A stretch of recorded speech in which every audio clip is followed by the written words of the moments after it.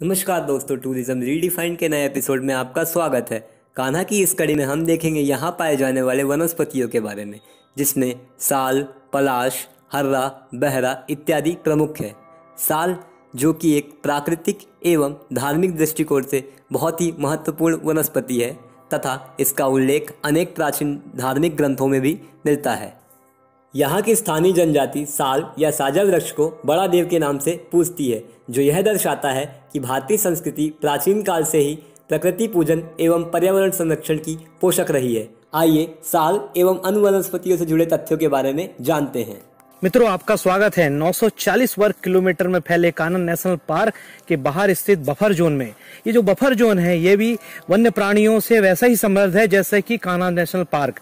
इस जगह पर भी आप जो है, बिना टिकट लिए यात्रा कर सकते हैं। मित्रों, इस जगह पर साजा, जो कि साल के नाम से जाना जाता है। साल वृक्ष, जो कि बौद्ध और हिंदू दोनों धर्म में पूजनीय होता है और जो यहाँ रहने वाले ट्राइब्स के लिए कल्प वृक्ष के समान है। साल के वृक्ष के नीचे ही माना जाता है कि लुम्बनी वन में बुद्ध का जन्म जो पाँच ईसा पूर्व हुआ था, माया देवी ने इसी साल के वृक्ष के नीचे बुद्ध को जो है जन्म दिया था।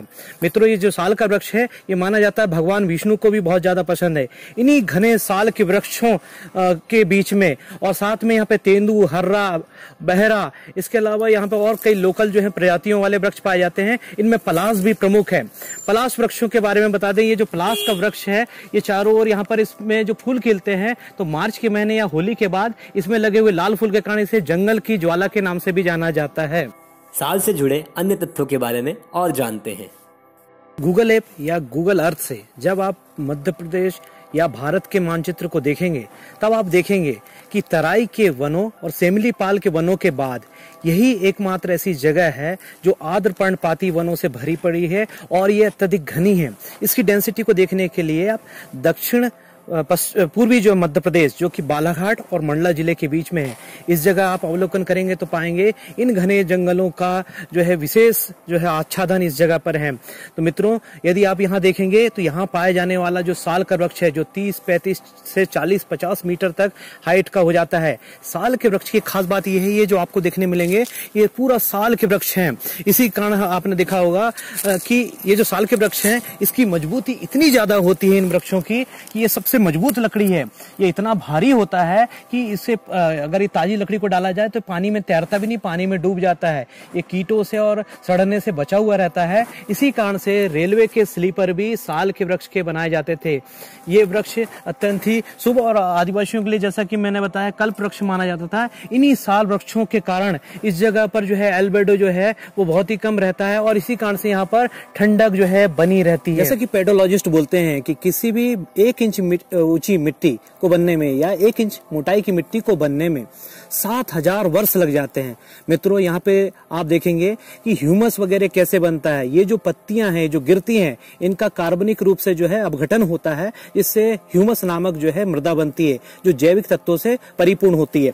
यहाँ आप देखेंगे जो साल का जो वृक्ष है, साल के वृक्ष की टूटी हुई भाग है, जिस पर कई सालों तक पड़े रहने से, इस पे यहाँ पे ये देखेंगे जैसे ये, यहाँ पे सवाल वगैरह और साथ में ये यहाँ पर दीमक दीमकों का जो है घर बन गए हैं। ये दीमकों की बाम्बियाँ इसमें बन जाती हैं। इन्हीं दीमकों को यहाँ के काले भालू और वानर की कई प्रजातियाँ, जैसे कि आपने टीवी में देखा होगा या सुना होगा कि चिंपांजी वगैरह भी जो है इन्हें खाते हैं।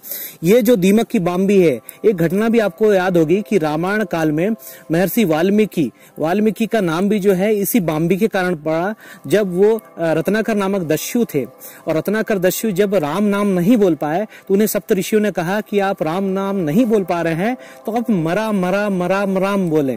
तो जब उन्होंने मरा मरा करते हुए राम नाम से उनका जब तार हो गया या उनका जब पूरे लगातार लेते रहे, तब उनके पाप पूरे कटने के बाद में वो बाम्बियों से पूरी तरह परिपूर्ण हो गए और जब उनके वृक्ष में, उसमें जब पत्तियाँ निकली और वापस जब उनकी तपस्या सफल हुई तो महर्षि वाल्मीकि कहलाए। महर्षि वाल्मीकि ने रामायण की रचना की।